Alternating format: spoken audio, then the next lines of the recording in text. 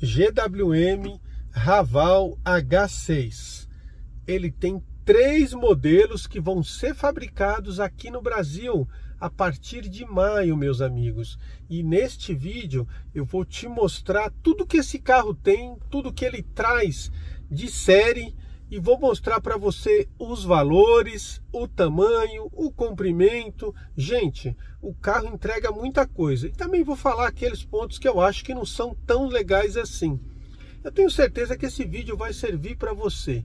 Então, antes de iniciar, eu te peço, amassa o like aí, ó, que é importante para nós. Caiu de paraquedas nesse canal, mas não está inscrito? Se inscreva aqui embaixo para receber o conteúdo novo que a gente põe todos os dias aqui. E me conta de onde você está assistindo esse vídeo.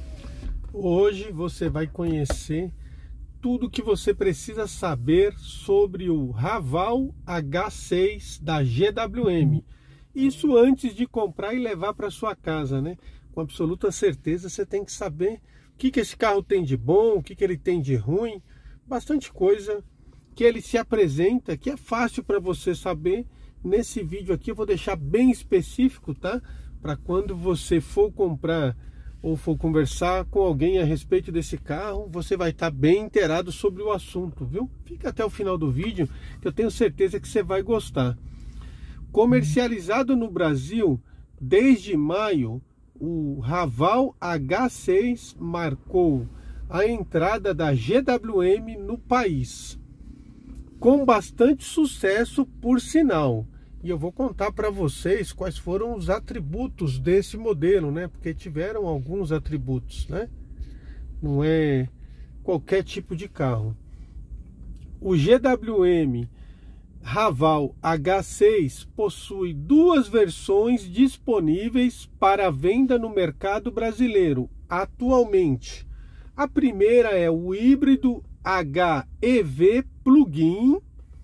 A segunda é o PHEV, além da carroceria de SUV Coupé na configuração GT, por sinal muito bonito, né?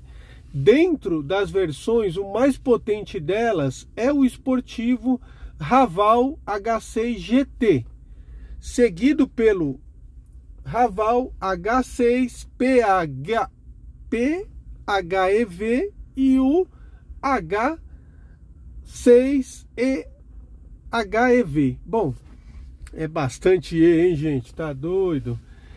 Seja for, seja qual for a variante, a linha do Raval H6 foi a principal responsável pelos 1.356 modelos da GWM emplacado em novembro de 2023.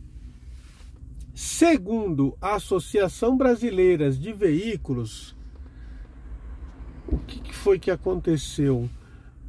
O SUV foi produzido no Brasil a partir de maio de 2023, lá na fábrica da marca em Iraçomópolis, antiga propriedade da Mercedes-Benz.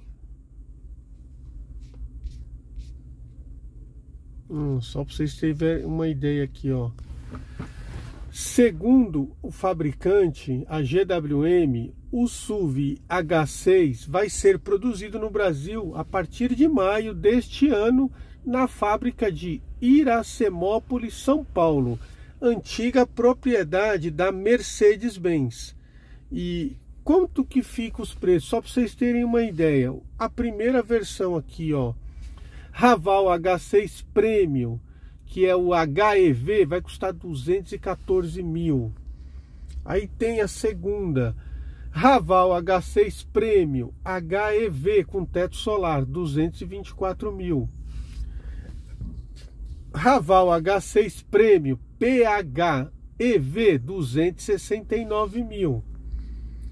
Temos mais uma versão, Raval H6 Premium PHEV com teto solar, 279 mil. E por último, a versão GT do H6 por 315 mil. Muito bonita a versão G3, né? Nesta versão, o Raval H6 combina um motor 1.5 turbo a gasolina com um propulsor elétrico. Juntos, eles somam 243 cavalos de potência e 50 kg de torque, além de transmissão de dupla embreagem de duas marchas. É bem interessante, né? Um carro muito tecnológico, tá vendendo muito, gente, né? Porque tem carro para todos os bolsos e a todos os gostos, né? Este carro é top de linha. Eu sei que não é para todo mundo, né? Mas é interessante a gente colocar aqui o que, que ele tem, o que, que ele oferece, o que ele não oferece, né? Vamos agora para configuração PHEV ou híbrida plug-in. Possui o mesmo motor 1.5 turbo com mais dois motores elétricos em cada eixo. Dessa forma, essa versão atinge o desempenho de 393 cavalos de potência e 77 kg de torque. Interessantíssimo, né? É um monstro. Imagina um carro desse acelerando. Agora conheça a versão Raval H6 GT, só para vocês terem ideia. Essa versão é esportiva e é híbrida.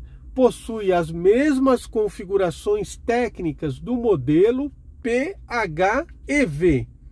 Então, no entanto, o nome sugere nesta versão o um modelo ainda mais potente, alcançando as melhores marcas da linha com velocidade máxima de 189 km por hora.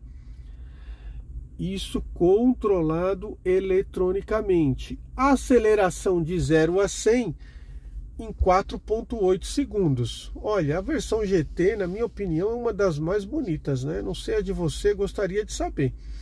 Itens de série, gente, com o principal destaque entre os equipamentos de série nas versões e, A, E, não, HEV e PHEV está no teto solar com item opcional na configuração GT. Ele é o padrão que você vai ver em outros elementos da linha. Bom, ele tem seis airbags, piloto automático adaptativo, alerta de tráfego cruzado, frenagem automática, alerta de permanência na faixa, detector de fadiga, está cansado, ele te mostra, freio de estacionamento eletrônico, partida por botão, retrovisor fotocrômico, sensor de chuva, faróis com acendimento automático, chave presencial, Android Auto e Apple, claro, e Apple CarPlay sem fio, sem fio. Tem multimídia de 12 polegadas, quadro de instrumento de 10.3 polegada, ar-condicionado digital de duas zonas, bancos elétricos com ventilação, câmera com reconhecimento facial na versão GT, acabamento em fibra de carbono e suede na versão GT, é por isso que é tão caro, né, gente? Mas o carro impressiona, é demais, viu? Ele com absoluta certeza, né? quando for fabricado aqui, acho que vai vender mais ainda, né? Em termos de tamanho, o Raval H6 Premium, que é o HEV, ele mede 4,68 metros de comprimento, 1,89m de largura, 1,73m de altura, 2,74m de distância entre eixos, com porta-malas de 560 litros. Por sua vez, a versão GT um pouquinho menor, né, com 4,72 metros de comprimento, 1,94m de largura, 1,73m de altura, 2,74 de entre-eixos, além de um porta-malas um pouco menor, 515 litros, que também não é tão menor assim, né, gente? É um baita de um porta-malão, né? A grande verdade é que o carro Raval H6 ele está vendendo muito porque o carro é muito bonito, entrega muita coisa pelo preço que ele oferece.